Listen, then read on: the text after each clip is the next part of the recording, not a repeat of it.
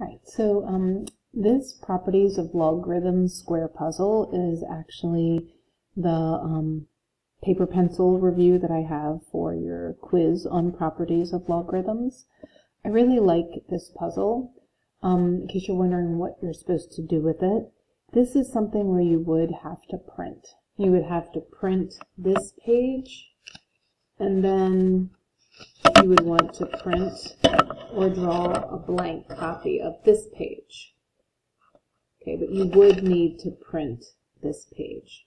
So um, there's also going to be a practice quiz and it's learning. So if you can't do this paper pencil one, um, or you can't do it as a puzzle, that's okay. The way this works is um, you can do it one of a couple ways.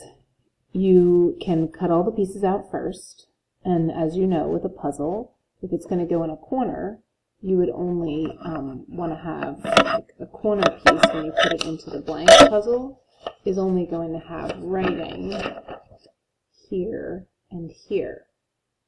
Whereas this puzzle piece is going to have writing here, here, and here. There's no writing along the edge. The center pieces are the only ones that would have writing all around. Okay? What you're doing is you're trying to match up a um, an expanded logarithm with a condensed logarithm. So let's see if we can find one and do that real quickly. Um, I'm looking for one. Let's see, let's just pick um, this one right here. This says log of 2 minus log of y. And I know subtraction means division, which would mean this is log of 2 divided by y, which is right here. Which means when I put these puzzle pieces into my puzzle, these need to match up like side by side like this. Okay? So what you can do is you can start to do some of the solving while you have all of them to look at like this. Like I could say, oh, okay, this goes with this. Maybe I'd want to put a squiggly line under this, and I could put a squiggly line under this, and I know my two squiggles have to match up. Let's do another one. Um, how about this?